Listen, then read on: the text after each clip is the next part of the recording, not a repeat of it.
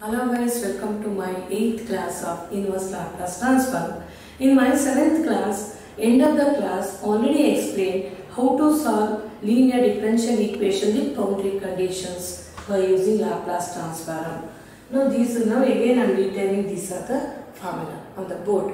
With help of that I am going to solve this. Now I am going to solve this uh, thing. You know one of the method is direct method to solve by using out CF and PI we get general solution, then apply boundary condition, we get a particular solution.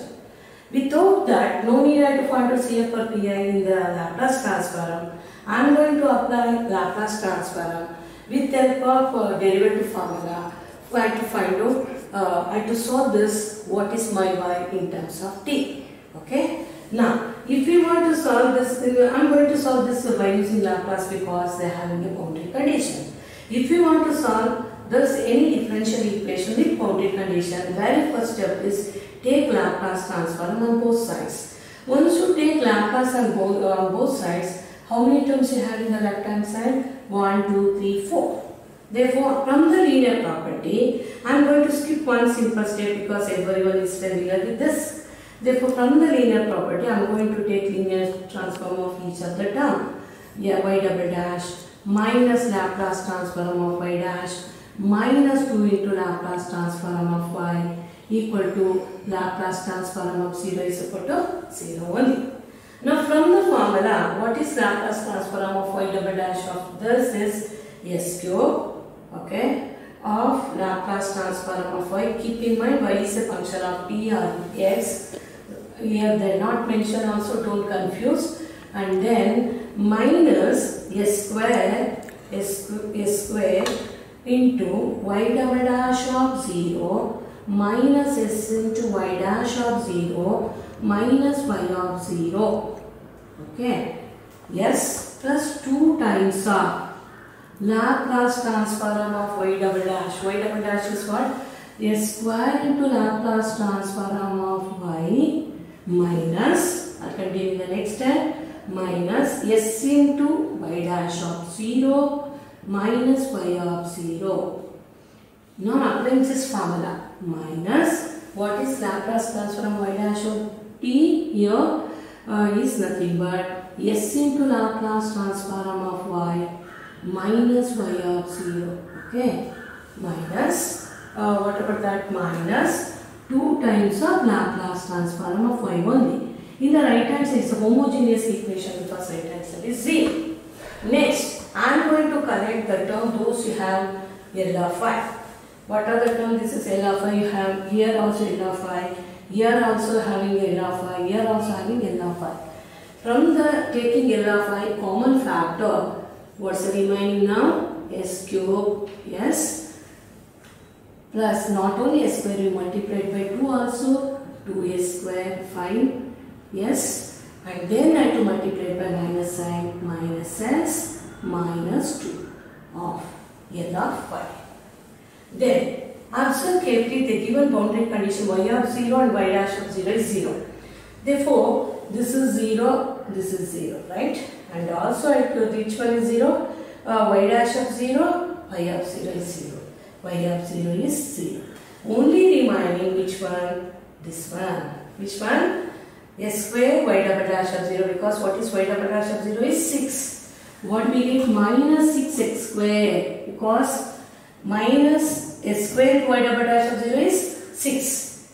The rest of the values are must be 0. Must be equal to 0. Now I have to solve this. In the next step, this can be written as Laplace transform of y must be equal to uh, I shifted this term in the right hand side 6x square divided by take the entire thing in the denominator x cube plus 2s square minus s minus 2. First I have to simplify denominator. Now s cube plus 2s square minus s minus 2 is, can be written as group these two. What's a common factor? s square is common. s square it is plus 2. Group last 2 what's a common factor? Minus sign. s plus 2 again from these two what's a common factor here? S, uh, S plus 2, S plus 2 is a common factor. Once you take S plus 2, what we get is square minus 1. But a square minus 1 can be written as what actually? s plus 2 into a, a square minus b square is a plus b into a minus b. Therefore, this is a cubic equation that convert into product of three non-repeated linear. This implies what is my Laplace transform of y is nothing but 6x square divided by s minus 1 into s plus 1 into s plus 2. Yes, this implies I want to find. Solve the e differential equation means what we are expecting y value in terms of t. That implies what is y, how to find out y, I to apply inverse transform. Is 6s square divided by s minus 1 into s plus 1 into s plus 2. Are you okay? I think it's clear everyone for this part. In the next part, please try to understand in this part. This part you already know that. It's beauty of uh, solving a linear differential equation in Laplace. First you apply Laplace and then apply inverse Laplace. Now this part you already studied in my further uh, uh, what I already explained in my previous class, previous videos. Now, how to proceed here? I am going to use my, I am comfortable with, for, in this case, using partial fraction because in the denominator having product of three functions. Therefore 6x square divided by s minus 1 into s plus 1 into s plus 2. Okay.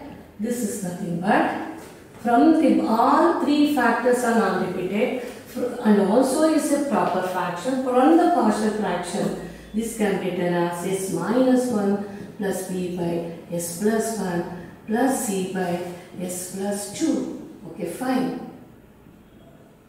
Uh, s plus 2. Now I have to take LCM. I am going to skip that part. Once you take LCM, both the denominator cancel. What's the remaining? 6x square is equal to a into s plus 1 into s plus 2, b into s uh, other than s plus 1 means s minus 1 into s plus 2 C into what actually other than S plus 2 is what? S minus 1 into S plus 1. Okay, fine. Now, for my convenience, actually this is just like a some notation star. You giving particular values of S to find out ABC. Now, how to put the value already explained in my previous videos. Now, I am going to put S is equal to 1, B and C 0, A is not equal to 0, therefore we get A. Therefore, I am going to put put s is equal to 1 on both the sides. s is equal to 1, 6 into 1 square equals a into 1 plus 1 is 2, 1 plus 2 is 3. Yes, these two are 0. Now we get 2 3s are 6, 6 6 cancel. What is my a value? 1. Next, similarly I am going to put s is equal to minus 1. Once you put s is minus 1, a and c are 0. That implies 16 to minus 1 whole square must be equal to uh, b of, I to put s is minus 1, minus 1 minus 1 is minus 2, minus 1 plus 2 is 1. Now what we get actually here minus 2, 6. We, what we get actually 6 divided by 2 is 3, we have a minus sign. Are you clear? 6 is equal to minus 2b we have. From that what is my b is 3. Okay fine. Similarly I am going to put s is equal to minus 2.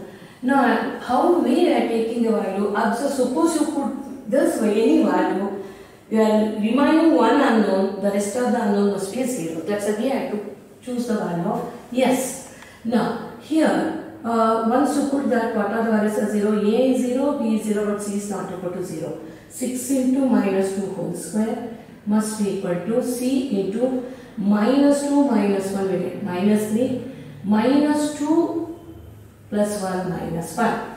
That implies, yeah, what we get actually here, uh, 6 into 4 must be equal to minus into minus plus 3c.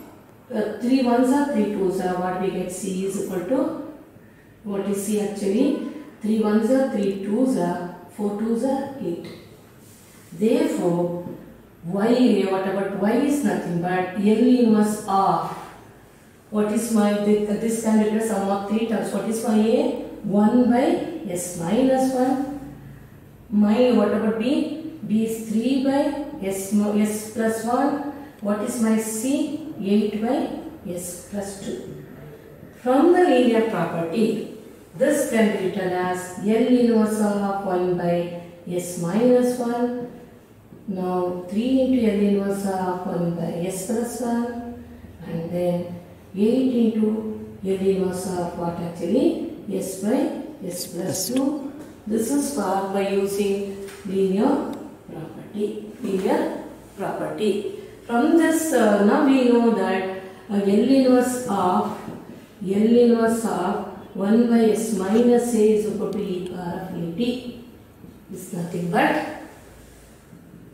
from this formula what we get e power of t plus d into this is s plus 1. s plus 1 I explained so many times s minus of minus 1 means e power of minus t. Again s plus 2 can be written as s minus of minus 2. Therefore what is my uh, what about a is e power minus 2t.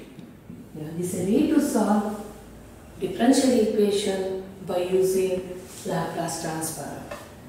Now I, I think everyone is clear how to solve linear differential equation by using Laplace transform.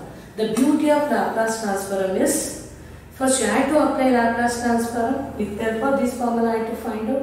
After that, after the simplification, now again apply inverse Laplace transform.